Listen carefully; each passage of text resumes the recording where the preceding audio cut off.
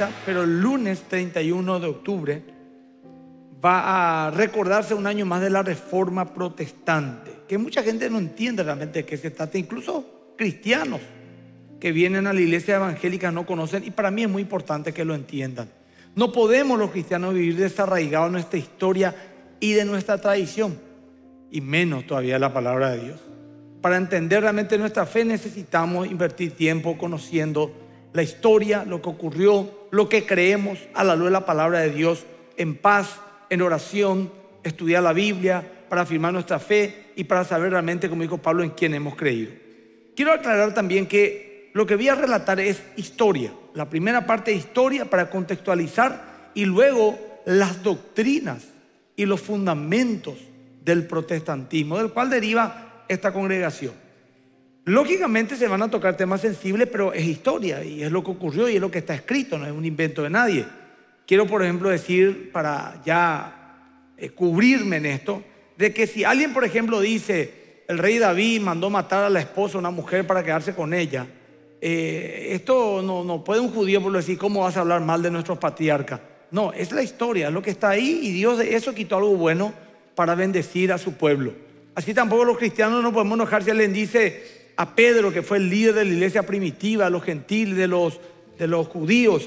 Pablo, que era también apóstol de los gentiles, le confronta su hipocresía y está, eh, él, se, él, se, comportaba de una manera de doble cara. Nadie puede decir, ¿cómo vas a ofender al apóstol? No, la Biblia relata esa historia y Dios quitó también algo bueno en Pedro, en Pablo y en todos nosotros, gracias a que conocemos la historia, ¿verdad? Quiero explicar un poco haciendo esa salvedad de que esto no es nada personal, al contrario, es historia y tiene que ver con algo que ocurrió, porque las cosas para ser juzgadas de manera justa, como la Biblia dice, tienen que ser juzgadas según su contexto. No podemos juzgar las cosas desde 500 años después. Tenemos que ver qué pasó, porque muchas cosas se dicen y, realmente no se entiende. Corría el año 1517 y un monje alemán de la orden de los agustinos, era un sacerdote, Martín Lutero, tenemos la foto de Martín Lutero si me pueden colocar. Este señor era doctor en teología de la iglesia. O sea, la iglesia católica romana le dio un doctorado en teología y le reconoció como exégeta y erudito bíblico. De hecho, él tradujo después de latín al alemán toda la Biblia. Este señor se sentía sumamente indignado ante tantos abusos del clero de la iglesia oficial. ¿Qué era, ¿Cuál era el contexto que este hombre y muchos vivieron en ese tiempo? Había una inmoralidad abierta. Había herejías disfrazadas de tradiciones. La corrupción era imperante. La manipulación de las masas ignorantes, a causa que no tenían la Biblia, estaban empobrecidas en todas las áreas. Y se sumó a esto la venta de la indulgencia. La iglesia en ese momento estaba alejada de la verdad, a más del pecado y la violencia, estaba totalmente politizada. Había lucha de poder y cismas por todos lados. Había también un negociado grosero que se aprovechaba abiertamente la ignorancia del pueblo, la venta y la veneración de reliquias era atroz. Escuchen, esto es historia. Había, por ejemplo, exhibía a la iglesia católica el cráneo de Juan el Bautista. Había varios. Pelos de su barba, huesos de los apóstoles, trozos de madera que decían pertenecer a la cruz de Cristo. Y llegaba esto a un límite tan insospechado y desvergonzado que había venta y veneración de frascos con la supuesta leche de los pechos de María. Solo en Alemania, solo en Alemania, había 19 mil huesecillos que decían pertenecer a Cristo. Y yo me pregunto, ¿no era acaso que Él resucitó? ¿No era acaso la prueba y el fundamento de la fe cristiana su resurrección, como dice 1 Corintios 15, 13, 14 al 20? Claro, yo no creo que esto lo haya enseñado y estoy seguro que no fue así el documento oficial de la Iglesia Católica, pero el pueblo vivía en un paganismo terrible y el paganismo era resultado de la cabeza y del liderazgo que tenían en ese tiempo. En España había 18 tumbas de 12 apóstoles, fragmentos de la espina de la corona de Jesús y la gente pagaba fortuna por verlos o comprarlos. Decían que en Roma estaban las 30 monedas de plata con las que Judas vendió a Jesús y que los que le besaran y pagaran una indulgencia recibiría por decreto papal 50 años de penitencia en el purgatorio. Varios papas anteriores varios papas, no uno, no fue que un hombre corrupto, sino varios durante cientos de años, algunos buenos, otros malos, pero mucha corrupción, mucha desviación bíblica, eh, eran indiferentes e incluso cómplices y de verdugos de pueblos enteros. Ordenaban matanzas, incitaban guerras y eran en extremo lujuriosos e inmorales de manera abierta. Julio II, Julio II, era conocido como el Papa Guerrero o el Papa Terrible por su intensa actividad política y militar. Se paseaba con su caballo y armadura de hierro delante del pueblo ostentándolo. León X que era el Papa en el momento del inicio de la reforma. ¿Me pueden poner la foto de León X, por favor? Este señor que está acá. Él era el Papa en el momento de la reforma, que se inició la reforma protestante. Quería construir la Basílica de San Pedro, que hoy está allá en, en Roma, con el dinero de los pobres bajo extorsión de que si no colaboraban irían al infierno ellos y sus parientes. El padre Tetzel fue comisionado por el Papa León X, por este señor, para vender indulgencia en Alemania. Va cayendo en Alemania y decía que antes que la moneda tocase el fondo del cofre, un pariente saldría al purgatorio. Los pobres hacían hasta lo imposible para conseguir el dinero para poner en el cofre para la construcción del templo y lógicamente así obtener la indulgencia. Ante tanta corrupción, hago una pregunta. ¿Cómo no indignarse si uno es considerado un verdadero hijo de Dios y siervo de Jesucristo? Sinceramente.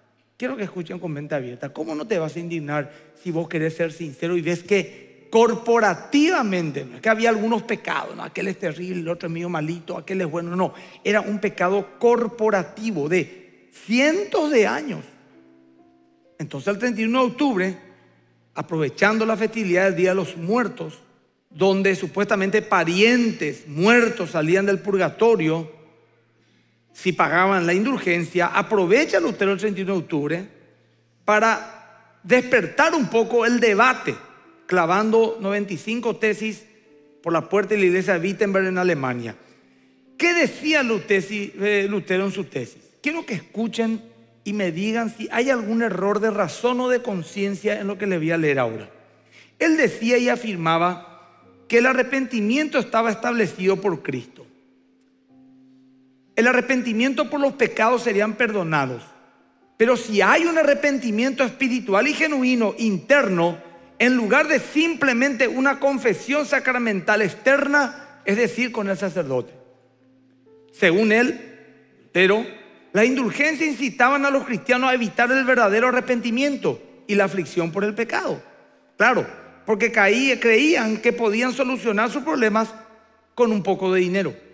Asimismo, indicó que las indulgencias desalentaban a los cristianos a dar a los pobres y a realizar otro acto de misericordia, pues pensaban que los certificados de indulgencia poseían mayor valor espiritual, siendo que Cristo ordenó de una manera especial tener cuidado con el pobre. La gente, en vez de dar al pobre, que era el mandamiento de Cristo, daba al papado. Lutero tampoco fue el único reformador, no es que un tipo se para, se sube, empieza a gritar y todo el mundo le escucha, no. Fueron varios y cientos de años antes más. La reforma luego empezó desde el mismo momento en que se institucionalizó la iglesia. Allá por el año 300 y algo, eh, el, emperador Constantino se convierte al cristianismo, cesan la persecución, se oficializa la religión en todo el imperio y ahí ya hubo una gran división. ¿Por qué? Porque muchos cristianos dijeron lo que los leones ni los... Eh, ni la arena del Coliseo lograron o lo lograrán ahora el dinero y el poder. Y de hecho se cumplió. La iglesia se corrompió totalmente una vez que tuvo gran poder y gran riqueza. De hecho, un monje estaba con un obispo contando una fortuna de dinero que había rejuntado luego de unas ofrendas y dijo, le dijo al obispo, este monje, ya la iglesia no puede decir oro ni plata no tengo, porque eso lo había dicho Pedro aquel, aquel cojo, oro ni plata no tengo, pero lo que tengo te doy. Y en el nombre de Jesús levántate. Y el monje le dijo con mucha sabiduría al obispo, le dijo, cierto, ya no puede decir oro ni plata no tengo, pero tampoco puede decir más, levántate en el nombre de Jesús y anda. La iglesia perdió totalmente autoridad espiritual, totalmente se volvió una institución de opresión.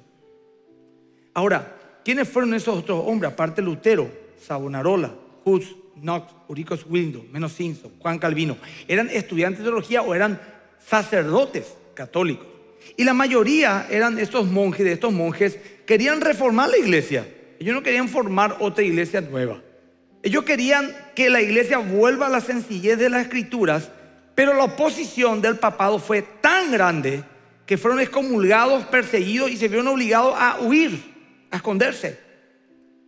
La persecución llegó a nivel tal que el concilio de Constanza, que había condenado a muerte a Juan Hus, que lo quemó en la en la hoguera, este mismo concilio, 100 años después, declaró que el reformador inglés de nombre John Wycliffe, por favor, la pintura de John Wycliffe, este caballero, era un teólogo católico, declaró que este reformador que empezó a traducir la Biblia del latín al inglés, Lutero lo hizo del latín al alemán porque era alemán, declaró que debería ser quemado en la hoguera por querer traducir la Biblia. ¿Cuál era el problema que había? Que cuando el concilio de Constanza dijo, este va a morir en la hoguera, ya hacía 100 años que el Señor murió. Y vos decís, ¿y cuál es el sentido entonces? Eso deja un costadito, como esa serie que vos ves que te deja en un lugar, te lleva a otra escena y después retoma. Vamos a retomar un ratito ahí. ¿Qué pasó con este señor? Este señor dijo, voy a traducir, tenía mucho cuestionamiento con el papado, con muchas dogmas católicos.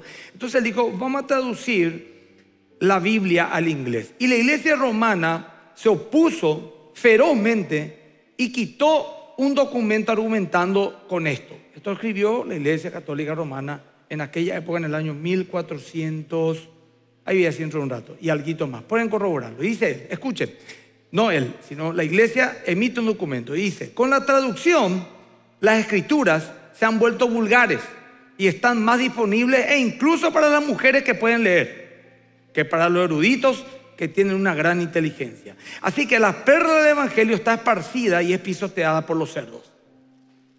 Wycliffe respondió, los ingleses aprenden mejor la ley de Cristo en inglés. Moisés escuchó la ley de Dios en su propio idioma también también lo hicieron los apóstoles de Cristo. Ahora, ¿qué es lo que decía el catolicismo romano? Que si todo el mundo leía la Biblia, entonces iba a ocurrir lo que de hecho ocurrió. Que se iban a levantar un montón de gente interpretando a su manera y cada uno iba a levantar su propia religión y fue un problema que había que enfrentar. Pero el problema también era que la Biblia no estaba a acceso del pueblo como el Señor lo pidió, como vemos en el Antiguo Testamento, y encima los, el clero era el único que podía leer e interpretar y le decían cualquier cosa a la gente y la gente no tenía que creer. Pero ellos sabían la verdad porque ellos tenían acceso a los documentos históricos, a los, al canon, y su conciencia decía a la gente tiene que saber que este no es el mensaje de Cristo, que esto no es el Evangelio. Ahora, Quiero decir que hoy, gracias a este reformador declarado hereje por la Iglesia Católica, millones de católicos hoy le deben a este reformador que ellos tengan la posibilidad de tener una Biblia en sus manos, en su idioma, en su casa. A este hombre que fue declarado hereje. Por supuesto que la Iglesia Católica que dice ser columna y baluarte la verdad, así es la doctrina y el dogma católico. Y yo digo que si algo es columna y baluarte de la verdad, Dios, por ejemplo, no puede contradecirse, ¿verdad?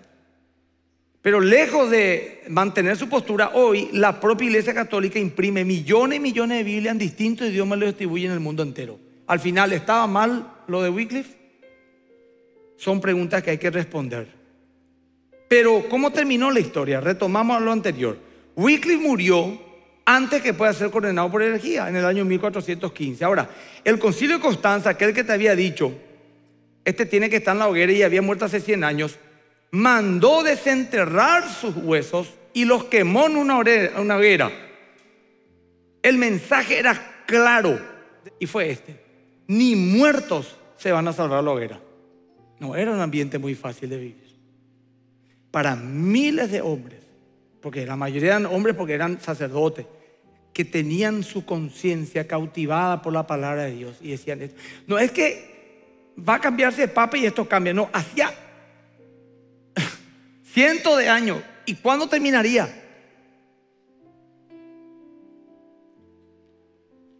Sin embargo, increíblemente, muchos dicen que fue Lutero el que dividió la iglesia. No fue culpa de esos papas corruptos ni de la poderumbre moral y doctrinal, la cual llevaron a esos líderes de la iglesia a su pueblo, sino que fue culpa de un monje que solamente lo que quería es defender la doctrina bíblica a la luz de la escritura. En todo caso, los responsables históricos serán esos hombres corruptos que ocuparon esa silla en ese momento de la historia. Que no digo que todos, ¿eh? ojo, había miles que estaban indignados, pero siguieron ahí y muchos líderes están absolutamente, y muchos católicos lógicamente, indignados por esta historia y esta mancha en su institución. Pero hubo un intento de frenar este acontecimiento y el emperador Carlos V y los príncipes alemanes y eclesiásticos se reunieron en el año 1531 en la Dieta Imperial de Worms para que Lutero se retractase. Fue un debate, eligieron retractate a Lutero y cuando se argumentó todo, él dijo esto.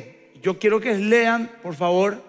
Esta fue la gran declaración de Lutero cuando él le dijo a todos los reyes, a los príncipes, a los cardenales, dijo, si no me convencen con testimonios bíblicos, o con razones evidentes, y si no se me persuade con los mismos textos que yo he citado, y si no sujetan mi conciencia a la palabra de Dios, yo no puedo ni quiero retractar nada por no ser digno de un cristiano hablar contra su conciencia.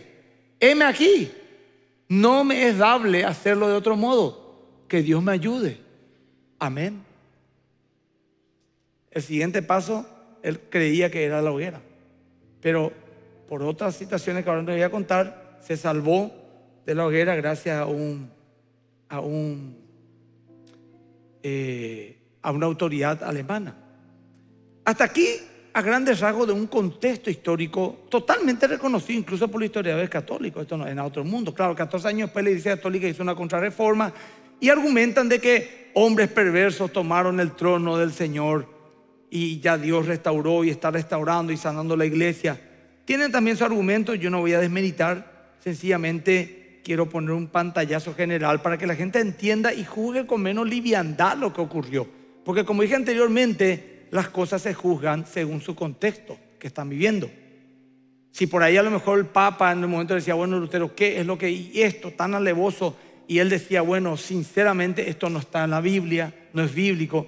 Y se, levantaba un hombre ahí como un papa y decía, esto vamos a cambiar, capaz que hoy seguimos siendo todos católicos romanos, pero con una doctrina bíblica, no con dogmas ni con exigencias que no están en la Biblia. Ahora, ahí quiero entrar en la parte teológica, muy importante, sumamente importante. Los fundamentos teológicos de la Reforma Protestante. Se fundamentó en cinco columnas llamadas cinco solas. ¿Me pueden poner, por favor? Vamos a poner en pantalla y voy a desmenuzar así, a grosso modo, cada uno de ellas. Solo la escritura, solo gracia, solo fe, solo Cristo y solo a Dios sea la gloria. Solo escritura significa solo por medio de las escrituras. Los reformadores dijeron lo que vamos a creer tiene que ser sola escritura. Voy a explicar de qué se trata. ¿Será solamente por fe que Dios salva? ¿Será solamente por gracia? Solo a través de Cristo y solo Dios será el dueño de toda la gloria, como recién hemos cantado. Ahora, la sola autoridad de la escritura, quiero aclarar algo que a muchos les puede sorprender. Dice que nada puede estar por encima de la palabra de Dios. Ni fuente, ni tradición, ni interpretaciones bíblicas, ni revelaciones pueden estar por encima de la palabra de Dios. Por lo tanto, ninguna inspiración o idea humana podía ser ni igual y menos por encima de ella. Para eso no es razonable lo que dice. Si la, vida es palabra de Dios, ¿qué puede estar por encima de eso? Ahora voy a ir a, pero pastor, ¿cómo caen en esto? Te voy a explicar cómo caen. Cuando hoy vamos a hablar a una autocrítica, aunque no me identifico yo con este sector de ninguna manera, Imagen Vencedores no es una iglesia de esta línea denominada neopentecostalismo. Pero muchos hombres hoy, ¿qué pasa? Hace poco, no hace poco, el año pasado, un líder reconocido con sede en Miami, que tiene un montón de iglesias acá en Paraguay también, de un movimiento apostólico, una ancianita profeta le dice a él que Dios le iba a llevar al cielo para mostrarle revelaciones que nunca antes se ha dado. Está el video en YouTube. Y amén decía el pueblo. ¿Cuál es el problema de esto? Que en cualquier momento va a salirnos con algo que Dios le reveló y eso es palabra de Dios. ¿Dónde se puede ver eso? ¿Dónde podemos avalar en la Biblia? No se puede. No se puede. No resiste el menor análisis teológico y bíblico muchas cosas que enseña. Y te dice, no, Dios es como un, la Biblia es como un río que fluye constantemente en su revelación. Nunca ve el mismo río. Dios habla a sus profetas, agarrándose de Apocalipsis, a los profetas actuales. El rol del profeta actual no tiene nada que ver con el rol del profeta del Antiguo Testamento. Ellos hablaban la palabra de Dios de una manera así literal. Dios les eran como un receptáculo, una radio. El que hablaba era Dios. Hoy en día tenemos el canon bíblico y ese es lo que está estipulado, que es nuestra forma de ver la vida. De hecho, a, Lutero le preocupaba Gálatas 1.6 al día donde dice que cualquiera que predique otro evangelio, aunque un ángel le diga, será anatema. Hoy tenemos el mormonismo en el mundo entero, que tiene la Biblia mormona, que es un libro escrito por Joseph Smith, que es su profeta, que dice que el ángel Moroni le reveló cosas que nunca se le reveló. Y tienen los mormones hoy una Biblia paralela a la Biblia que usamos nosotros históricamente y ya vemos cómo en poco tiempo ya se volvieron politeístas, poligámicos y lo más terrible, eh, creyendo que inclusive nosotros somos dioses. Así que así también la iglesia en general, cuando va, va perdiendo la pureza de la autoridad de la Biblia, nosotros también nuestra vida personal, cuando vamos acomodando la Biblia en muchas cuestiones, a la larga podemos hacerle decir a la Biblia cualquier cosa que ella nunca jamás dijo. Ahora, yo quiero aclarar esto. No todas las tradiciones son malas. Porque de repente se juzga mucho las tradiciones. No, las tradiciones están mal. todo está, toda tradición es mala. No. A no ser que esté en contra o no pueda ser argumentada bíblicamente. Pero si la tradición está respaldada bíblicamente o se expresa claramente en la Biblia, no debe ser desechada. De hecho, por ejemplo, la doctrina de la Trinidad es una tradición. ¿En qué sentido? En que no aparece en la Biblia la palabra Trinidad, pero la conclusión que uno llega a leer la Biblia y lo, que dice la Biblia de Jesús, del Espíritu Santo, Dios Padre, habla realmente de que eran deidades, ¿verdad? Eran la misma persona, o sea, tres personas en una misma sustancia y el misterio de la Trinidad surge y eso no es algo antibíblico. Claro, habrá alguien que diga que sí, pero la, doctrina histórica no condena, al contrario, enaltece esa doctrina. Ahora, ¿qué es la sola fide o sola fe? Voy a irme por este orden. Ahí está un poco así inclinado, pero bueno. La sola fe. En ella se revela que la salvación es solamente por fe sin obras. Vamos un poco a leer la Biblia, Romanos 3:28 quiero hacer un poco una enseñanza muy importante, sumamente importante, que te va a servir para tu matrimonio, para tu negocio, para tu relación con tu jefe, para tu vida espiritual y para tu salvación. Para todo te va a servir lo que te voy a enseñar. Porque vamos a enfocarnos en un punto fundamental. ¿Qué es la sola fide o la sola fe? Romanos 3:28 dice, voy a ir un poco rápido por decir, dice, concluimos pues, dice Pablo, que el hombre es justificado por la fe sin las obras de la ley. Esto también dice en una Biblia católica. ¿eh? Esto también dice, el libro romano está en la Biblia católica. De hecho, todos los libros del Nuevo Testamento de las versiones protestantes están también en las versiones católicas. La diferencia está en los libros deuterocanónicos del Antiguo Testamento, que son siete libros que la Iglesia católica incorpora y la iglesia protestante la quitó, pero tampoco están consideradas como inspiradas por el Espíritu Santo, contienen historia. Esos siete libros fueron escritos entre 400 eh, años antes de la venida de Cristo, donde hubo un silencio y está lleno de historia y sabiduría judía, judaica. Habla de los macabeos, de la persecución que se por los romanos. Eh, están algunos libros, Macabeos 1, 2, sabiduría, Tobías, eclesiástico, etc. Pero el Nuevo Testamento, para centrarnos bien en algo, la misma 27 libros, así también es la Biblia católica. Y dice esto, eh, después de que concluimos, dice, concluimos que, ¿por qué concluimos? Porque el contexto, especialmente a partir del 321, nos habla de la justicia que es por medio de la fe. Pablo argumenta de que la justicia es por medio de la fe en Cristo y concluye diciendo que el hombre es justificado por la fe sin la obra de la ley. Romanos 5.1 dice, justificados pues por la fe, tenemos paz para con Dios por medio de nuestro Señor Jesucristo. Está clarito. Ahora, podemos leer muchos versículos más, pero hoy no vamos a profundizar en ninguno de estas columnas. Solamente vamos a tener los versículos referentes. Eh, las obras, mírenme ahora todo, dejen de leer su día, mírenme, porque quiero darle un argumento. Las obras son el resultado natural de una fe genuina, pero las obras no salvan.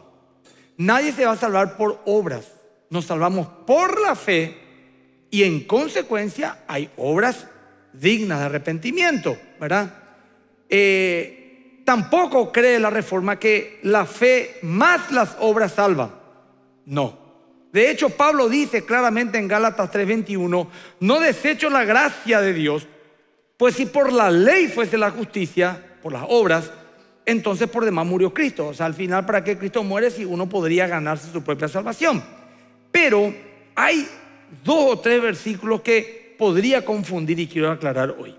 Por un lado, leímos claramente que Pablo dice en Romano y en muchos otros pasajes más como vamos a mirar, concluimos pues que el hombre es salvo por la fe sin la obra de la ley, tenemos paz para con Dios por medio de la fe en Jesucristo, por gracia soy salvo por medio de la fe, no por obra para que nadie se gloríe. Y aparece acá Santiago, capítulo 2, versículo 14 y 17, diciendo algo que puede confundirnos, pero quiero aclarar un poco, yo sé que todos lo van a entender. Santiago 2.14 dice, hermanos míos, ¿de qué aprovechará si alguno dice que tiene fe y no tiene obras? ¿Podrá la fe salvarle? La versión NBI dice, ¿podrá esa fe salvarle? Que es una traducción más correcta. La fe que implica no tener obras. Y dice el 17, así también la fe si no tiene obras es muerta en sí misma. Pero alguno dirá, escuchen el argumento, tú tienes fe y yo tengo obras. Muéstrame tu fe sin tus obras y yo te mostraré mi fe por mi obra. La fe, como el amor y otras cosas más, son abstractas. Son conceptos que no se pueden ver a no ser que haya un resultado. Entonces, eh, en ningún momento anula la fe Santiago. Santiago dice, muéstrame tu fe sin tu obra, lo cual es imposible. Y yo te mostraré mi fe por mis obras. Entonces, ¿cuál es el punto acá? No anula la fe, al contrario, la enaltece. Y esos versos nos dicen que el que tiene verdadera fe necesariamente tiene verdaderas obras y buenas obras. Las obras son el resultado de una fe salvadora. Y la fe salvadora precede a las buenas obras. Así que la fe es la base, no el resultado. Las obras son, no son la base, son el resultado. Y no hay, no hay ningún tipo de contradicción. Pablo dice, somos salvos por la fe. Amén. En varias partes, Gálatas, Efesios, Romanos, libros canónicos reconocidos por la Iglesia Católica, también lógicamente en la historia también lo, lo reconoció y lo compilaron. Pero Santiago dice, si no tienes, si no tienes obra, no tienes fe. Es totalmente amén. Porque así como si un hombre y una mujer se juntan y se embaraza la mujer, no va a salir un caballito. Sí o sí va a salir un ser humano. Así también el resultado natural de una fe genuina son buenas obras, una vida cambiada, transformada. Eso es lo que confrontamos justamente el domingo pasado para los que no, no estuvieron, vean nuestra prédica, de que muchos dirán, yo voy a la iglesia, conozco la Biblia, hago la comunión, lo que vos quieras, pero no tiene resultado de un cambio de vida, no es salvo. Estuvimos hablando claramente eso. Entonces, la sola fe implica que la salvación es por fe y no desecha la obra, es el resultado de la verdadera fe. No es que le ayudamos a nuestra fe teniendo buenas obras. Y para esto entender mejor, hay que entender esta doctrina que es de la sola gracia. O sea que si la salvación es por fe, en consecuencia es una gracia. ¿Qué es gracia? Un regalo inmerecido. Vamos a mirar ahora mismo Efesios 2, 8 y 9. Es súper claro. Lo va a entender un, no sé, un adolescente puede entender si es que presta atención. Y para mí es importantísimo esto que ustedes entiendan. Para mí, para Dios y para todos los que tenemos fe en Cristo. Dice, porque por gracia soy salvo por medio de la fe. Uno dirá, bueno, si ahí había un punto final ya estaba todo dicho. Pero no, agrega, dice, y esto no es de ustedes, es un don de Dios, no es algo que ustedes lo logran, es Dios. No por obra otra vez, para que nadie se jacte ni se gloríe, dice. Y dice, porque somos hechura suya, creado en Cristo Jesús para buenas obras, las cuales Dios preparó antemano para que anduviésemos en ellas. O sea que el Señor dice, acá Pablo dice, Dios a través de Pablo, la salvación es por gracia, por medio de la fe, no es por obra para que nadie se gloríe, porque somos hechura suya, creado en Cristo Jesús para buenas obras, las cuales Dios preparó antemano para anduviésemos en ellas. Nuevamente volvemos a lo de Santiago y Pablo. La fe es la que salva, la sola fe es por pura gracia, pero la obra es el resultado de una fe salvadora. Ahora, hacer por gracia y por fe es solamente a través de Cristo, ¿verdad?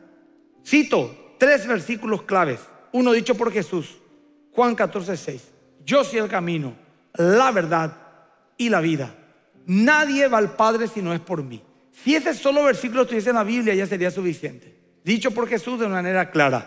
Pero luego Pablo, Pedro, Pedro, que, los católicos consideran el primer papa, Pedro en Hechos 4:12 dice, hay un solo Dios y un solo mediador entre Dios y los hombres, Jesucristo. Ahí sería absolutamente irrefutable, pero Pablo nuevamente aparece, que era el apóstol de los gentiles, los no judíos de nosotros, y dice en 1 Timoteo 2.5, hay un solo Dios y un solo mediador entre Cristo y los hombres, pero entre Dios y los hombres, Jesucristo hombre.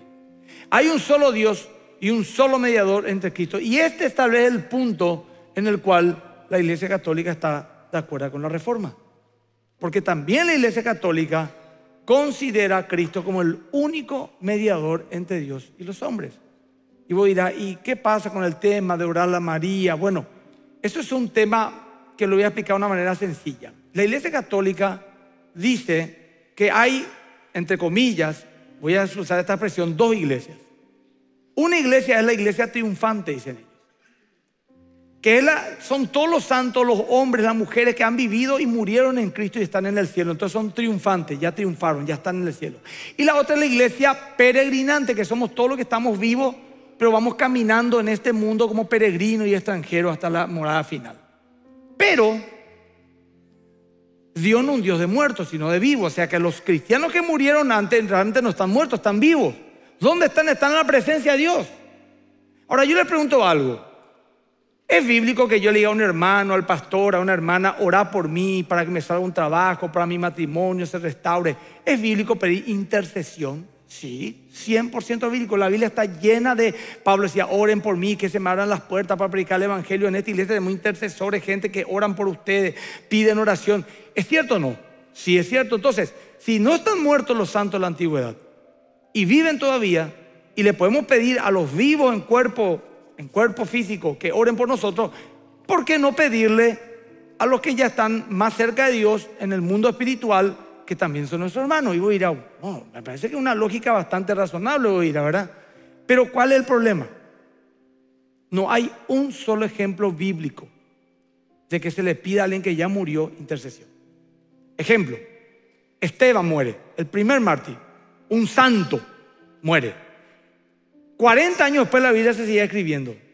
Ni Pablo, ni Santiago, ni ninguno de los apóstoles dijeron, orémosle al hermano Esteban que está en la presencia de Dios, pidámosle a San Esteban que...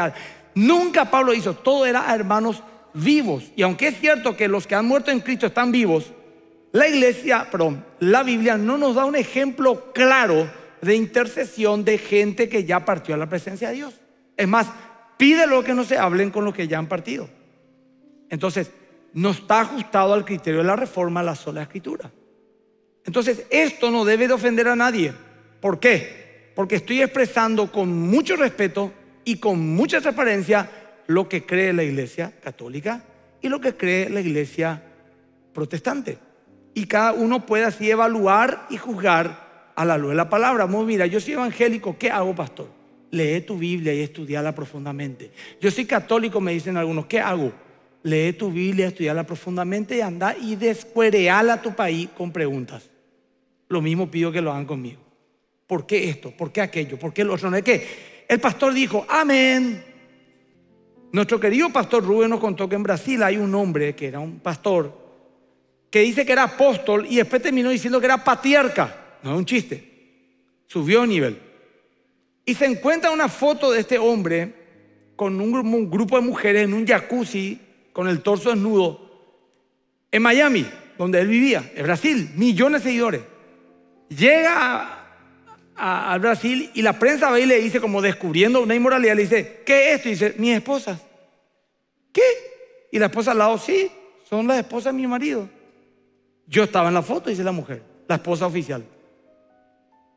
Y la Biblia, no, yo soy un patriarca y los patriarcas tenían más de una mujer. Jacob tuvo no sé qué, esto, Abraham.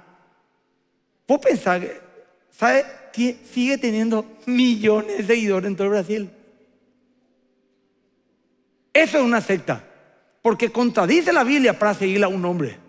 Anda que yo digo ahora, yo tengo que tener dos esposas, empezando por la señora que está acá al lado, se me va a complicar todo el tema. Segundo, segundo, si ella en su locura dice, amén, está bien, ¿por qué yo tengo que llevarme todo? Hay que compartir, la Biblia dice que repartamos el pan y para mí mi marido un pan de vida. No sé, le, le puede encontrar la vuelta. Encontrarle la vuelta, no hay problema. ¿Viste que se puede encontrar la vuelta? ¿Qué va a pasar con ustedes? Estos, los pastores. Pensá que se van a quedar así. Los pastores de Adolfo, mi pastor, es así. Ah, bueno, ya que Lilian aceptó. No, me echan a patada. Porque nosotros estamos fundados sobre un hombre, no, no sobre, sobre las revelaciones personales de alguien, sino sobre la Biblia. Yo no soy un iluminado, yo no soy un nuevo apóstol de estos tiempos o un Moisés de esta era, como dicen muchos. No de mí, de otros hombres. No. Usted no una secta de ninguna manera. No predica la palabra de Dios, predica la moral cristiana, no tiene un pecado corporativo, puede haber pecados individuales, en todos lados hay. No enseña una herejía, sino que está, como vemos hoy, argumentada en la Biblia. No tiene un libro paralelo de revelación, no tiene un iluminado. Así que, tranquilo. Pero gracias a qué? A la sola escritura. A que la Biblia es la autoridad máxima del cristiano, no la única. Yo también soy una autoridad para ustedes. Porque la Biblia dice, respetad a vuestros pastores, obedecerles. Los maestros bíblicos son autoridad también, es la única autoridad, la máxima autoridad, eso es distinto. ¿eh? También hay tradiciones que son una autoridad sobre nuestras vidas. Ahora, el argumento es sencillo. Si es solamente la escritura, que es la palabra de Dios, solamente es por fe, solamente es por gracia, el hombre no se merece, y solamente a través de Cristo, la conclusión natural es que solo a Dios es toda la gloria. Él es el que empieza, él, él nos creó en primer lugar, Él te creó a vos. Después te salvó. Él puso en vos quererle hacer. Él perseveró porque Él dice, dice, el que comenzó la buena obra que es Cristo, la terminará hasta el día de Cristo y Él te va a llevar al cielo. Todo de Él. El hombre no tiene nada que jactarse, más que de obedecer humildemente como criatura. Criatura me digo de criado, de creado, perdón, ¿verdad? Entonces, Vamos a leer algún versículo que hable que para Dios toda y absolutamente toda la gloria. Lo hemos cantado recién. Vamos a leer Romanos 11:36. Porque de Él y por Él y para Él son todas las cosas. A Él sea la gloria por los siglos. Amén. Y dice 1 Pedro 5, 10 y 11. Ya hemos leído al iniciar la prédica de hoy, pero vamos a leer de vuelta. Dice 1 Pedro 5, 10, 11. Dice. Mas el Dios de toda gracia, que nos llamó a su gloria eterna en Jesucristo, clarito, resumido la soteriología, el mensaje de salvación. Después que hayáis padecido por un poco de tiempo, ¿por qué dice que hayáis padecido por un poco de tiempo? Porque vos te salvás a los 20, a los 30. A ver, ¿quiénes tienen 20 años y tienen a Cristo como su Salvador? A ver, levante la mano. Los que tienen 30, los que tienen 40, los que tienen 60. Si no planeas morirte hoy, que no está en tu plan en el nombre de Jesús, vas a vivir todavía unos añitos más. Y esos añitos, para un verdadero cristiano, no son fáciles. A, mí no me es fácil el mundo que hoy vivimos. O sea, me encantaría vivir en el país de la maravilla, pero no es así. No digo por este país, por el mundo, la inmoralidad, mis propias luchas personales. Yo tengo luchas así en este orden. Tengo luchas con, con, con mi espíritu, con mi fe, con mi moral, con mi carne, con mis emociones y después tengo conflicto con mi esposa. con su emoción, con su carnalidad, con su... Y después tengo problemas con mi hijo, con la sociedad, con mis propias luchas, la lucha del mundo, la incertidumbre. No, si vos mirás de una manera, no es ser pesimista, es ser realista, cierto, la vida tiene cosas hermosas como la que la persona está a tu lado, pero hay mucha aflicción en este mundo. La incertidumbre, las guerras, el hambre, ¿verdad? Eh, los virus, las pestes. Entonces dice, van a padecer todavía un tiempo, amén, porque significa que no nos hemos morido hoy, ¿verdad? Gloria a Dios, ¿verdad? Vamos nomás a sufrir un poquito más, ¿verdad? Y dice, por poco tiempo, esto es para alentar a los que tanto sufren, a los que están en el hospital ahora mirando, a los que están en las cárceles, fuerza, poco tiempo. Poco tiempo puede ser 40 años, 10 años, un año. Pero hay una, una seguridad. Dice, Él mismo, Dios, te perfeccione, te afirme, te fortalezca, te establezca y dice, a Él sea la gloria y el imperio por los siglos de los siglos. Amén. Y Jesús termina la famosa oración del Padre nuestro, que no sé por qué eso no se suele decir. A ver, Padre nuestro que está en los cielos, santificado sea tu nombre, venga a nosotros tu reino. Hágase tu voluntad así como la tierra en el cielo. Danos hoy el pan de cada día. Perdona nuestras deudas como también nosotros perdonamos a los que nos ofenden no nos metas en tentación, mas líbranos del mal. Amén. Así se ve, ¿verdad? No sé por qué se quitaron seis, siete palabras. ¿Cuáles esas seis, siete palabras? Acá está. Eh, capítulo 6, versículo 13. Y no nos meta en tentación, mas líbranos del mal, porque tuyo es el reino, el poder y la gloria por los siglos de los siglos. Amén. Hay que incluir en nuestro Padre nuestro esas palabras porque todo para todo es de Dios. En el libro Las abundantes riquezas de su gracia, del pastor Eliseo Apablaza, leemos lo siguiente, escuchen.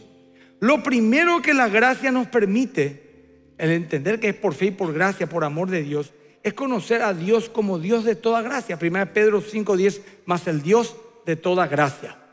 Dios se revela a sí mismo en su gracia por medio de Jesucristo, porque envía un sustituto de nuestros pecados.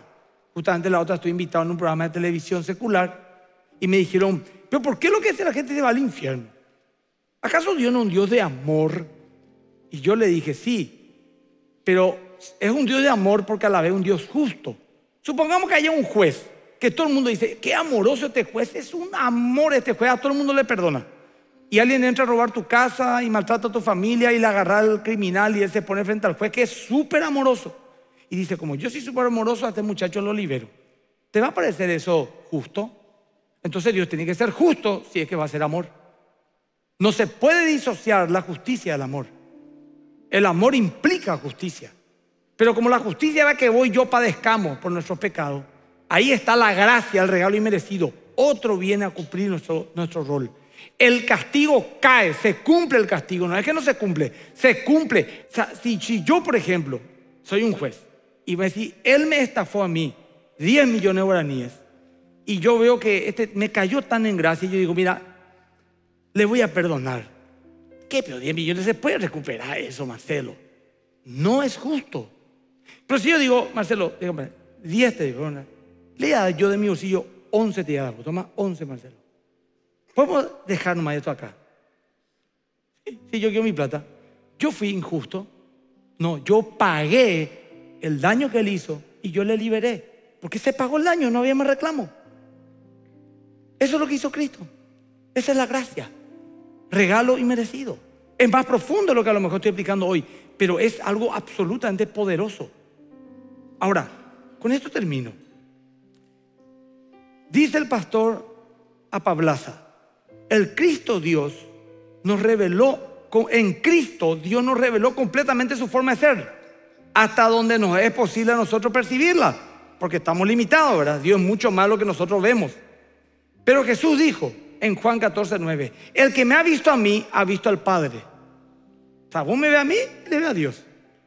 Dijo también en el 1.18 de Juan, el unigénito Hijo que está en el seno del Padre, Él le ha dado a conocer. También en Juan 1.17 dice, la gracia y la verdad vinieron por medio de Jesucristo. De manera que ahora, por medio de Jesucristo, conocemos al Dios de gracia. Y vos mira, ¿cuál es la fuente, pastor, de, mi espiritualidad y mi victoria espiritual? el conocer a Cristo. Digo, si, si yo le conozco a Cristo, ¿y quién es Cristo? No es decir yo soy nomás cristiano, no. ¿Quién es Cristo? Conocer la de la palabra en profundidad, en experiencia personal. Porque ¿qué dijo Jesús en Juan 17 cuando fue su oración intercesora? Te pido que te, que te conozcan a ti, el único verdadero Dios, y a Jesucristo a quien has enviado. Jesús pidió a Dios, te pido que te conozcan a ti, el único y verdadero Dios, y a Jesucristo a quien has enviado. Y ese es el desafío que tenemos nosotros como creyentes. Eso es lo que yo quiero dejarte hoy, querido hermano, hermana, con amor y humildad. El deseo de que vos puedas conocer a Dios de verdad. ¿Cómo se le conoce a Dios? Solamente a través de la palabra de Dios. Y si yo le digo a alguien, leen a la Biblia, estudia la Biblia, y leíte a tu Biblia hoy, tienen que pensar seriamente si están en la fe. Porque la Biblia dice que el que nació de nuevo tiene hambre y sed de la leche espiritual no adulterada, como un bebé que nace y busca la leche materna en los pechos de su madre. Examinemos nuestro corazón, hermanos. Porque no es un juego la fe. Es un caminar diario de dependencia. Los que estuvieron el domingo pasado se acordarán de los dos grupos que hablé. Los que no estuvieron el domingo pasado, pues trata un poco de perderse alguna serie que están viendo en Netflix y miren esta serie de predicas que estoy haciendo hoy. Hay dos grupos. El grupo que dice conozco, sé, voy, apoyo, pero no tiene una vida de fe. Ese es el grupo que tenemos que preocuparnos y que tenemos que analizar que no estemos. Porque aquellos hermanos en la fe que hoy a lo mejor están mirando y dicen hace años no me voy a la iglesia, o yo soy una persona fría espiritualmente, aunque en un momento estuve apasionado por Dios, yo le quiero decir a ese hermano, a esa hermana, que yo no puedo decirle si es o no es salvo, porque al final Dios es el que conoce todo. A lo mejor está en un proceso en el cual Dios le va a traer de vuelta, pero hay una cosa, la Biblia es clara que a los que alguna vez gustaron, vivieron, sintieron y se apartaron, están seriamente comprometidos en la salvación de su alma. Seriamente comprometidos. Aferrémonos al Señor Jesús. Conozcamos nuestra fe. Busquemos la palabra de Dios. Porque esto depende de nuestra eternidad.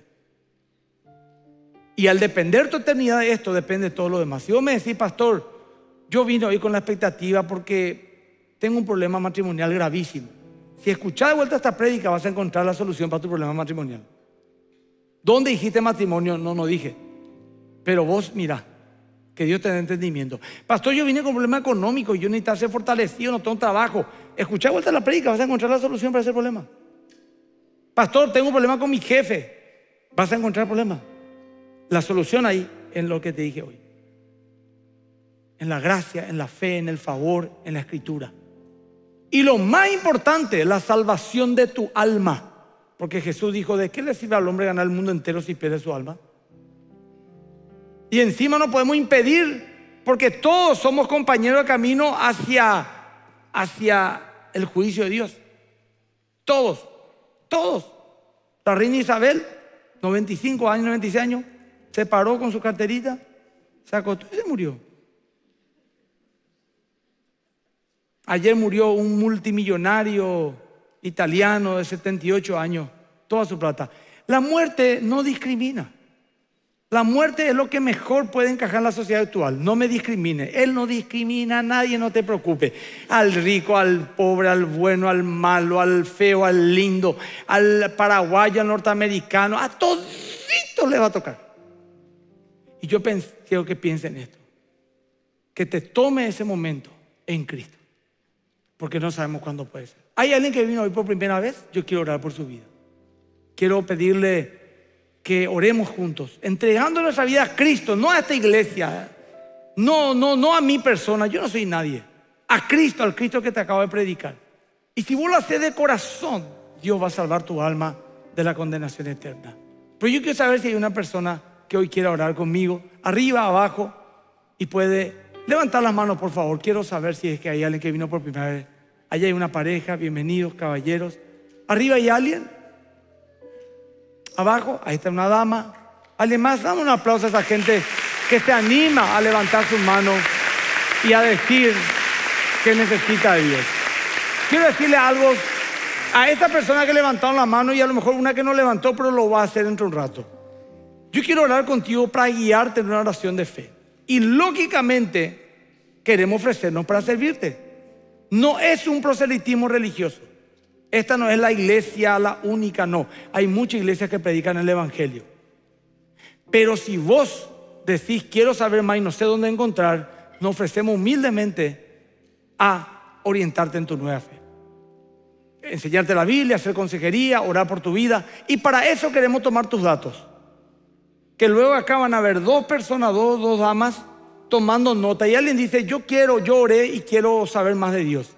Quiero conocer más de esta congregación. Quiero alguien ore por mi vida.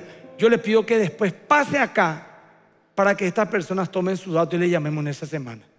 Ahora yo quisiera, nadie todavía sale, vamos a salir en cinco minutos estoy terminando media hora antes. Pongámonos en pie, por favor. Amén. Gloria a Dios. Pido nuevamente con toda la reverencia, levante la mano claramente los que por primera vez vinieron y quieren orar conmigo. Allá está nuevamente, cinco, seis, siete, ocho, bienvenidos. Arriba hay alguien más. Siempre los ujieres tienen la manía de hacerle pasar arriba solamente a la gente consagrada y santa. Abajo a los pecadores. Bueno, tiene un simbolismo, el infierno, el cielo, toda esa historia. Pero de arriba no es que se baja mucha gente. Pero hay alguien, siempre hay algún escogido a quien Dios toca su corazón. Quiero hablar contigo, esa persona que levantaron la mano, inclinen por favor su rostro y díganle así, escuchen lo que le digo, díganle audiblemente, Señor Jesús, vengo ante ti en esta mañana pidiéndote perdón de mis pecados. Que con tu sangre derramada en la cruz me limpies. Y yo te recibo en mi corazón para que seas mi Señor y Salvador. Gracias por amarme, Señor. Gracias por tu espíritu. En el nombre de Jesús. Amén. Esas personas que han orado por primera vez, yo les espero después acá para orar por su vida y para tomar los datos que quieran. Y para los que ya son de la fe, ya lo que he dicho hoy, cuiden su fe.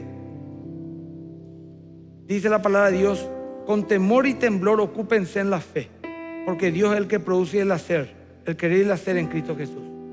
Padre, para nosotros que ya hemos dado un paso de fe, te pedimos misericordia. Y como dijo Martín Lutero, que el Señor me ayude. Amén. Y realmente, Señor, que tú nos ayudes porque es imposible caminar un día más sin tu presencia, sin tu gracia. Pongo delante de ti, Señor, tu pueblo que hoy se ha congregado aquí, que han creído en ti y que creen en ti para que sean bendecidos hoy, aunque ya lo son, Señor, y que caminen en perseverancia, en fe, este camino que tú nos has dado, que es Cristo mismo. Les bendigo, Padre, y que la gracia y la verdad sea sobre cada uno de ellos, en el nombre de Jesús. Amén. Un aplauso le damos al Señor. Que Dios te bendiga. Gloria a Dios. Puedes irte en paz. Las personas que han orado por primera vez, pasen por favor. Y si hay alguien que necesita oración, pase, vamos a orar los intercesores, los pastores por usted.